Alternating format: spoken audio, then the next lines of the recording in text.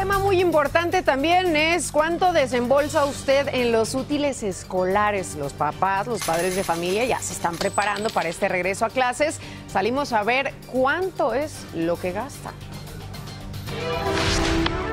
Mamás, ¿están listas para el regreso a clases? Pues las calles de los útiles escolares en la Ciudad de México son el paraíso para todo padre o madre de familia para surtir las listas de útiles para el próximo ciclo escolar. A pesar de que los padres de familia gastan mucho dinero, aseguran que sus criaturas lo valen. Cuando tiene un hijo, pues ya es un compromiso, ¿no? Y pues a hacer el ahorrito. Gracias a Dios, pues se han salido con excelencia mis hijos y yo digo que es el mejor pago que nos dan, bueno, a mí y a mi esposo, que salen con satisfacción de la escuela y vale la pena. Para los hijos sí, tiene que valer la pena siempre. Digo, bueno, ahorita para la educación de los niños, pues sí, ¿no? Yo creo que sí vale la pena.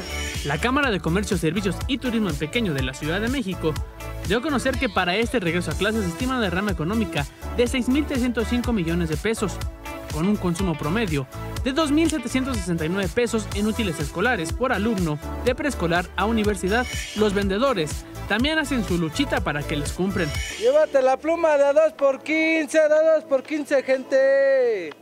La carpeta se va de a 40, de a 40. Aquí se aplica la buena B. Bueno, bonito y barato para todos. La Canacope estima que habrá un incremento del 57% en las ventas de comercios relacionados con la actividad escolar. Y si no hubiera gastado esa lana en eso, ¿qué se hubiera comprado? No, pues yo creo ya estaría de vacaciones ahorita. ¿En dónde? Pues yo creo que pues en una playita. En una playa. El sol como que llama, ¿no? Sí, sí, sí, llama. y más que ahorita ha estado lloviendo mucho, la verdad es que sí hace falta. Oiga, ¿y qué le recomendaría a todos los papás que aún van a venir a comprar sus útiles?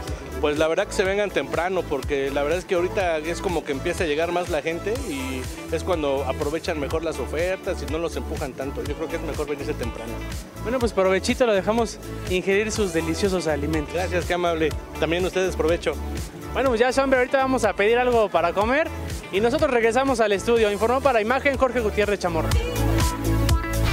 Miren lo que me trajo Jorge de ahí de la feria de los útiles ah, escolares. ¡Qué espléndido! Fue para lo que alcanzó. Qué bueno que no tiene bendiciones. Imagínense, pobre chamaco, se quedan sin nada, sin que sepa lo que cuestan exactamente. Oigan, esta mañana Manolo anda con todo, ¿eh? Sí. Doble estreno hoy. Otra nueva sección que con es todo, Manolo. hasta costilla rota, todo. Todo, ¿no? Ya vi que se te Fíjate, salieron fíjate que hicimos ahí los una sección. espíritus Y todo. Sí, sí, sí, sí. Pero estoy bien. Para ti estoy bien. Ah. no hay ningún problema.